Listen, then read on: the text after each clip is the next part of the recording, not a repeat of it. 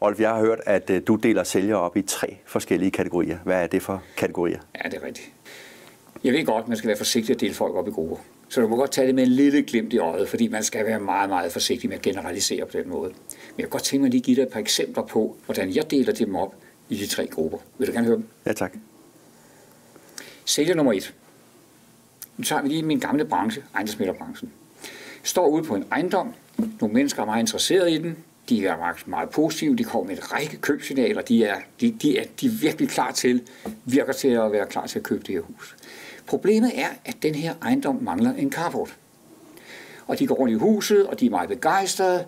Og så gør jeg altid det, når jeg ved, at der er sådan lidt enkelt problem, eller to, måske vi skal have løst på en eller anden måde. Så prøver jeg at undgå at løse det, mens jeg går rundt. Når vi så er færdige med fremvisningen, så følger jeg folk ud til bilen, og så sørger jeg for, at de står, og nu forestiller de står, du står med ryggen til huset, og jeg står og kigger på dig, og jeg står og kigger på øh, de her mennesker, og så er huset om bagved. Så stiller jeg dem spørgsmål og siger, jeg skal lige høre, er det noget for jer, det hus her?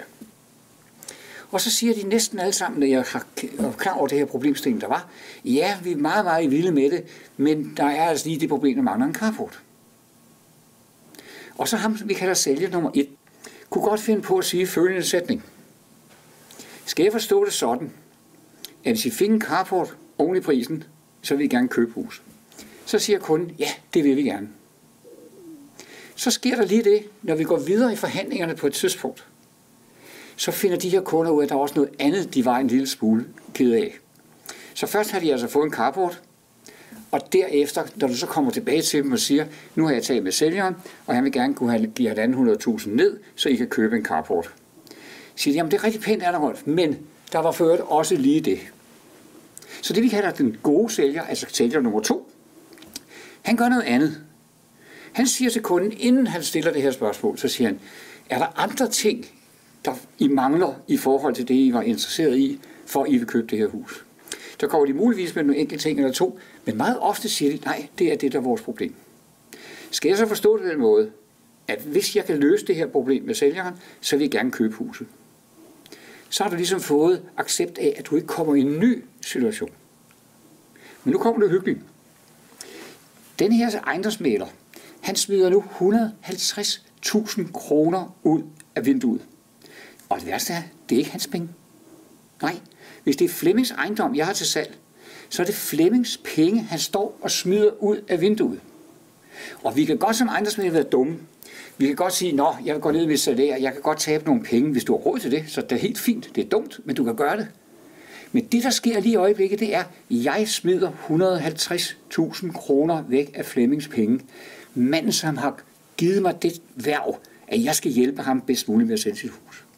Og derfor synes jeg faktisk, det er en rigtig, rigtig dårlig idé. Og nu spørger du sikkert, hvad er så den ideelle sælger? Vi kan bruge et eksempel igen, hvis jeg må have lov til det.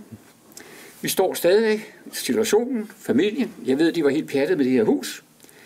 Sker det, at jeg stiller spørgsmål og siger, hvordan var det? Så siger jeg, ja, men der mangler det her, den her ejendom. Eller det, der mangler den her karbord. Og så siger jeg følgende sætning til dem. Ja, skal vi så ikke blive enige om, vi må ligesom droppe det. Der er jo ikke noget at gøre ved det. Altså, jeg kan jo ikke skaffe den her karbord, det kan jeg ikke. Men jeg kommer lige til at tænke på, og jeg vil lige sige, når jeg laver den her, jeg kommer lige til at tænke på, så ved jeg præcis, hvad det er, jeg vil sige nu. Men kunden føler ligesom, jeg kommer lige i tanke om noget, og det lød bare. Ikke du kender Columbo øh, fra gamle dage, hvor altså, han kommer altid til at sige sådan en sætning. Så jeg siger til ham, ja, hvis nu vi kunne forestille os, at jeg kunne finde en ejendom, og så har jeg lige fundet 3-4-5 ting, de nævnte for mig inde i huset, de var helt vilde med. Som har det der med tre børneværelser. De har en skolesikre vej med børnene osv. osv. Og der er måske nogle andre ting at sige. Hvis nu findes sådan en ejendom, som har de samme fordele, de samme muligheder billede, må den ejendom så koste 300 kroner mere om måneden i ydelse. Så siger jeg kun, kan du det? Jamen, jeg sagde også, hvis jeg kunne forestille, altså, jeg har ikke lovet noget. Jeg har ikke lovet noget, men jeg bare hører jer. Og så gentager jeg en gang til for prins Knud. Præcis det samme igen med de der ting, de gerne ville, og nu skal de høre her. Jo, siger så, hvis du kan det. Men, men tror du stadig ikke, du kan det? Ja, siger jeg så. Det kan jeg. Må jeg godt ønske jer til lykke ved jeres hus. Værsgo. Kigger de på mig? Nu gør vi det, når vi underskrevet aftalen. Så går vi ned i nykredit. så får I et lån på 150.000 kroner til en carport, og den koster jer 300 kroner om måneden. Så det har du lige stået og regnet ud i hovedet, hvad det bliver om måneden over 30 år. Ja. Men i stedet for, at jeg havde sagt til dem, jamen prøv lige at høre, det koster kun 300 kroner mere om måneden. Det kunne jeg jo bare have gjort. Ja, ja. Men så har jeg ikke fået deres accept. For de står jo en lille smule og tænker, nej, han kan sgu da ikke finde sådan et hus. Det kan jeg faktisk heller ikke. Men tro mig, den har virket så mange gange i den her situation. Du kunne jo også have valgt at sige, ved I hvad, jeg ved, at sælger står og gerne vil, vil videre i deres liv, så skulle jeg ikke høre dem, om vi kunne mødes på halvvejen. Men det vælger du ikke at gøre. Du vælger at være lojal over for sælgeren, 110 procent, og smide, hvad kan man sige, byrden helt over på, på køber. Ja. ja. Det er da ikke. Hvorfor skulle jeg smide sælgerens penge væk, hvis jeg har mulighed for at undgå det? Hvis jeg ødelægger handlen, og jeg taber handlen, og sælgeren står måske i nogle frygtelige problemer, så skal jeg jo passe på, hvad jeg gør. Mm. Men husk lige, hvis det var din ejendom. Du har haft tillid til mig. Du giver mig ret mange penge for at hjælpe dig. Mm. Så vil det da være lidt urimeligt, at jeg starter som den første. Jeg vil overhovedet ikke diskutere priser, før jeg står med benet ud over afgrunden. Så begynder jeg at overveje Så begynder jeg at overveje Og det er endda min egen penge.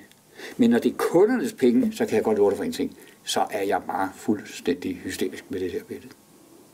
Jeg har en anden oplevelse, som er ret interessant.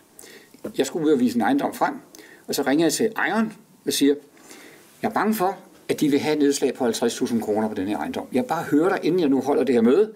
Er, er det noget, der er fuldstændig urimeligt for dig, eller er det, er det noget, du måske kunne overveje, eller hvordan og hvorledes har det? Ah, det kunne jeg godt leve med, siger kunden så.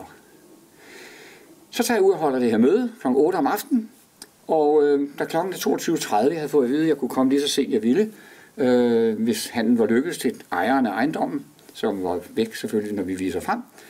Så sker der det, at øh, jeg sidder og forhandler, og vi bruger altså to og en halv time på det her billede. Og så ringer jeg til hende og siger, og jeg lød meget træt. Jeg vil bare sige, at jeg lød meget træt. Det var jeg fandme også. Og jeg siger, ja, siger jeg, jeg er sgu ked af det, siger jeg så. Det koster 10.000 kroner. Nå, jamen kom nu lige forbi. Så kommer jeg forbi, og så giver jeg hende købsaftalen, og siger hun, jamen, jeg troede, det havde kostet mig 60.000, altså de 50, du havde fået lov til, og så 10.000 mere. Men du har kun givet 10.000, så det er 40.000 bedre, end det, jeg havde accepteret. Så kigger hun på mig, så siger hun, jeg skal lige høre, lige inden du svarer, så vil jeg ærlig over for dig. Jeg er psykolog. Er du den her type, der simpelthen brænder for at hjælpe dine kunder? ja, det er svært ved at svare nej, det må jeg så sige. Ja, det sjove det var, jeg følte, det var et nederlag, at jeg overhovedet måtte give 10.000 kroner nedslag. Og jeg tror, jeg havde været hjemme noget tidligere den aften, hvis de mennesker, øh, hvis jeg bare havde sagt til dem, at jeg ikke få de der 50.000, som hun gerne vil. Men det er jo ikke min opgave. Min opgave er at hjælpe bedst muligt, uden at snyde kunden uden at snyde kunden. Det er også en vigtig detalje i det billede der. Men det kræver vel en eller anden form for etik og moral, for din opgave er jo også at lukke et salg, så dit firma kan få en provision, og du kan få en provision af det salg her. Og derfor er der indbygget en potentiel konflikt i, at man gerne vil presse sælger så langt ned i pris, så man får så nem en opgave som muligt med at lukke et hurtigt salg, så man kan komme hurtigt hjem med sit salær. Er der ikke en indbygget konflikt i det? Og hvor får du din etik og moral fra? Fordi jeg tror ikke, det er alle i branchen, der har det på den måde? Jeg kan ikke svare på alle i branchen i den her situation. Jeg har det bare sådan, hvis du tager ud og sælger et hus for at tjene dit salær, så bliv hjemme. Undskyld. Okay. Hvis du tager ud for at hjælpe din kunde i den her situation, og du er så heldig, at du så samtidig kan få en god betaling for det, du gør. Der er jo meget stor forskel på, hvis du tager ud og taler med mig for at sælge et hus. Hvem er så i centrum? Det er dig. Hvis jeg så ud for at hjælpe dig i din boligsituation, for at komme videre i situationen, og jeg så kan sørge for at gøre det så godt, at kunden får lyst til at købe mig, det er en win-win. Det er bare en win-win situation, vi har der. Ja. Mm. Undskyld, det så så alvorligt ud før, men problemet er, at jeg bliver så vred, når folk så hurtigt giver nogle rabatter. Mm. Jeg synes, det er frygteligt. Ja. Jeg synes, det er uhyggeligt hurtigt, folk er til at gå ned i pris. Ja, især når det er andres penge. Andres penge. Ja. Men også når det er ens egen penge. Mm.